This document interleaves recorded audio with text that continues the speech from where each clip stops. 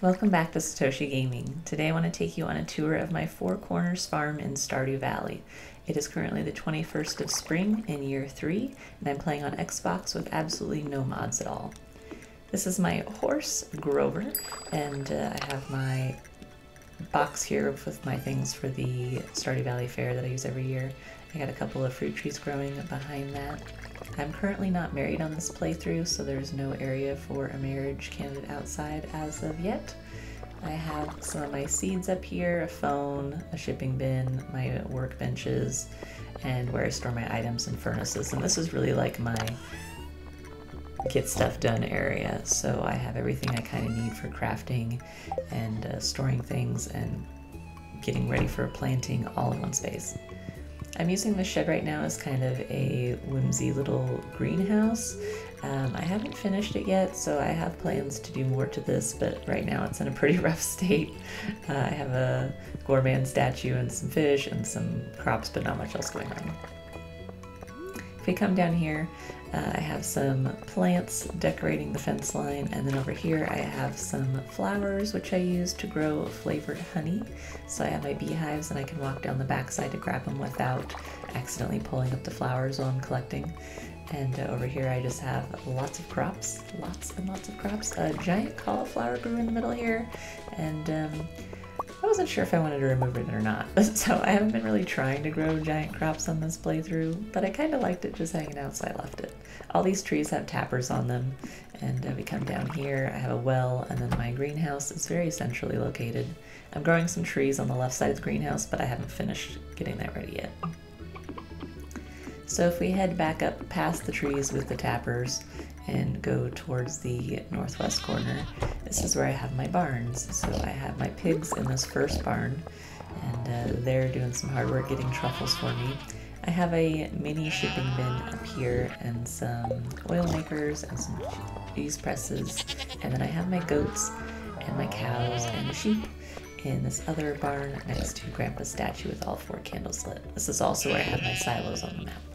So if we head down here, I have my fish ponds down here where I am harvesting roe and various items. I also have another shipping bin and a little pond here.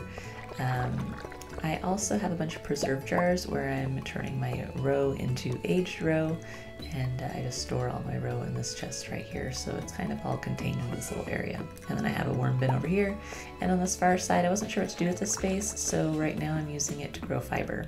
And then I have one log for hardwood that naturally grows on the farm below that. We come down to the south west corner. um, there's all sorts of fruit trees that I'm growing. I have preserve jars. I'm hoping to get more and more kegs to grow wine and jam. I have more fruit trees lining the area around here, and then I have just a ton of crops. So this is like my main crop growing area. I have some beehives I'm starting to put in here on the left, hoping to line that whole strip. And uh, so really this is just like crops, crops, crops. and uh, I have my seed makers down here so I can get more seeds as I grow stuff too. So if we cut straight across the south end of the farm into the southeast corner, I actually have a slime hutch on this farm and I don't typically do that. It's uh, right above the natural mining area that occurs on this farm type and inside I'm using it to kind of farm slimes and petrified slime. And uh, some of my slimes got out the other day and I haven't contained them yet, so it's a little dangerous in there, so we're not going to spend long inside.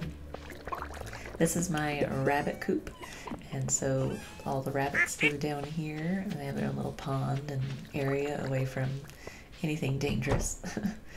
And if we head up above them, we have a chicken coop and a dinosaur coop. And they all hang out together. They're all making eggs, so it felt like it all went together. So I have a ton of mayonnaise machines here to work on all the eggs these guys make. And a shipping bin in the middle so I can easily drop off stuff when my inventory gets full. Over here I have my mill to break uh, raw ingredients down. And then I have some more beehives with another bunch of flowers and you can come around this side to plant them. And then you can harvest the bee honey from this side without accidentally ripping up the flowers. If we head back towards the middle of the farm, I have this little pathway to my warp statue and my kitty cat, Banabella, and uh, her water bowl's right there. not much else going on in that little space. And then I have another shipping bin right here below the greenhouse. And then my little cave is in here. It's mushrooms, nothing to harvest right now. So if we head up here just a little ways, this is kind of a weird little nook I have next to this pond, and I'm using it for all my recycling machines and my junk I fish up from the water. So for these, this farm, the flooring I'm using is weathered wood floors on the main walk paths and brick floors in all the work areas. Thank you for watching, and I hope you enjoyed this video. If you did, please give it a like and subscribe and share it with your friends, and I hope to see you next time. See you later. Bye.